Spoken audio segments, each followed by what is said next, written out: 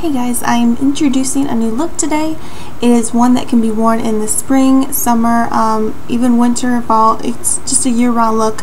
Um, it's great for daytime and it's um, it's one of those less, you know, it's more understated. So those of you who think that some of my makeup is too out there and too much, um, this is a much simpler look that you should be um, pretty happy with, or at least I hope so. So let's get started. So I've already put on my face makeup and I filled in my brows. Um, the next thing I'm going to do is I'm going to take my loose powder um, and use it as a nude shadow. And just put it on my brow bone here.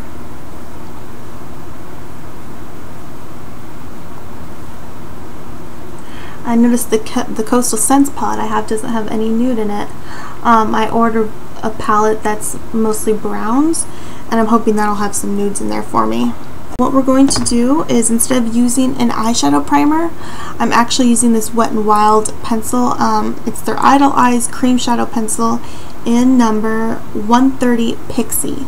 And this is what it looks like. It's just a very fat crayon and it's a pretty nude color.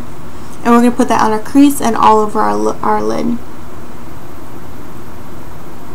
This is a really great base color if you're going to use like a nude, um, like a really sparkly nude shadow. I used to I used to use a sparkly nude and put it on my lid and then a brown in the crease. Um, it was my go-to look for the longest time and I use this as the base and I think I'll do that again soon in a tutorial because it was one of my favorite looks. But right now I want the pop of color. So, this is going to be my base.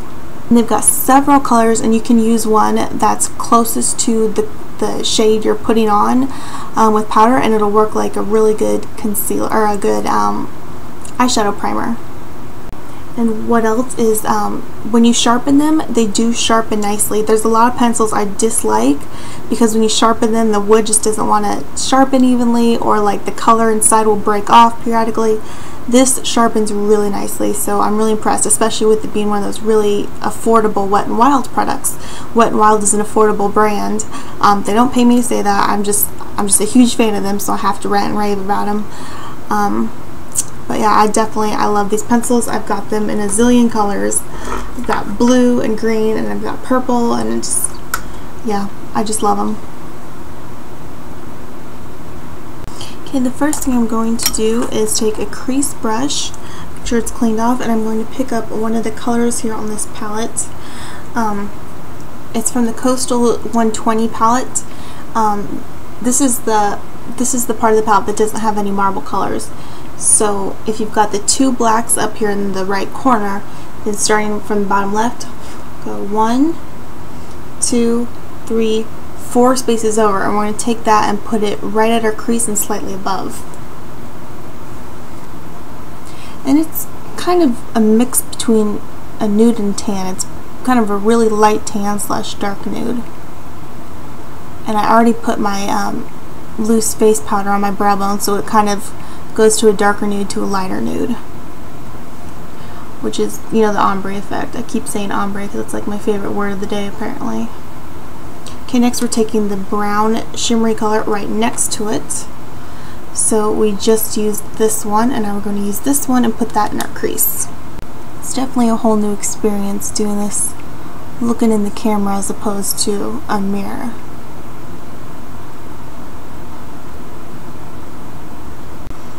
Next I'm taking a small crease brush, clean off my previous shadow off of it. Um, and I'm going to pick up that same brown that we just used and line along my lower lash line. And it's not going to be really obvious contrast, it's just going to shadow it a bit. See? Hence the name eyeshadow. Next with a flat brush I'm going to pick up one of my pigments from my line which is Ecstatic Eyeshadows and you can check that out on Etsy. I'll post a link to it below.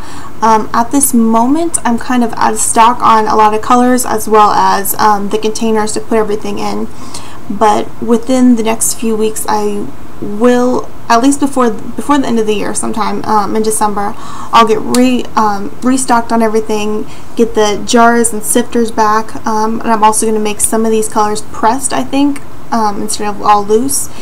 And there also will be a ton more color options because right now I don't have very many options, and I need to kind of expand a bit. It's time. So um, keep your eyes peeled if you're interested in trying out this color. It is a really, it's hard to explain. It's like, it's kind of like a grayish light blue and it's got some kind of gold really fine specks in it. It's just, it's so pretty. So, it is one of my favorites from my line. And again, it is called Millennium. So I'm just going to pick some up here. And you can also order samples of this. You don't have to get a full-size container. Um, if you are interested and want to be notified as soon as I have it back in stock, um, or enough to sell anyways. I, I probably have enough now for samples. Um, but if you, so if you are interested, send me a message and I'll get a sample to you. Okay, so I'm just carefully patting this on on my lid. And right at the outer corner I'm letting it, I'm patting it a little thinner so it'll blend into the brown, or the light brown that I put there. And I'm going all the way into my tear duct and all the way in the inner corner.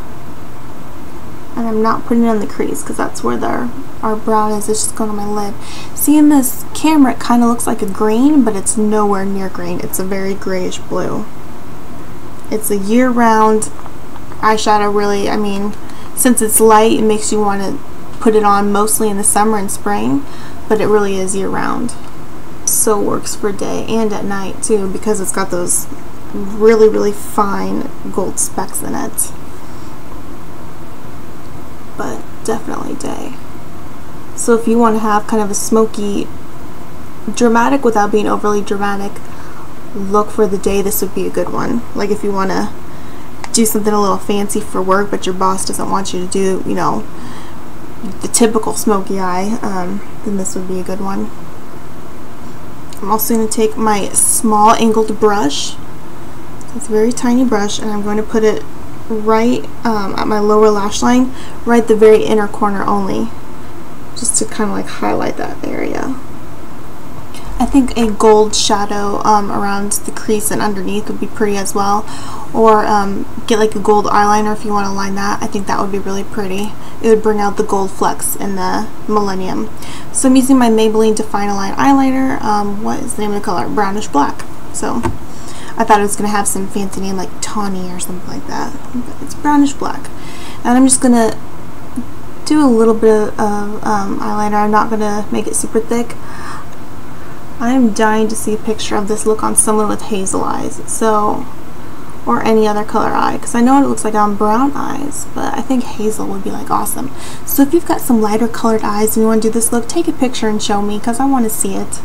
Link it, link it to your Instagram or your Facebook or something below. Even if you try any of my other color or any of my other tutorials and try those, I would always love to see someone um, post a picture of how it came out. I think that would be so exciting. Be like, oh yeah, I helped inspire that. Now I'm just going to do a very thin coat um, of mascara on my lower lashes. And for that, I'm using the Maybelline Illegal Length Mascara. Um, there Ardell Invisibands um, babies, and they're black. And I got them from Sally's for $3.49. So, and they've already been trimmed to fit my lashes. I'll list a link below um, also for how I do false lashes and how I blend my natural lashes in with my false lashes. Which, speaking of natural lashes, I totally forgot to curl them and put my mascara on them. Duh. See, I get to making these videos and I distract myself. It's like I got ADD or something. So I need to do this quickly before my glue dries. Um, but anyways, check out that video because there are several tips in it. Um, and I had friends that all pointed out the same tip. They said that they had no idea and it worked really well. So check out that video and see what that tip is. Finished look. Hope you love it. See you in a future video. Thanks for watching.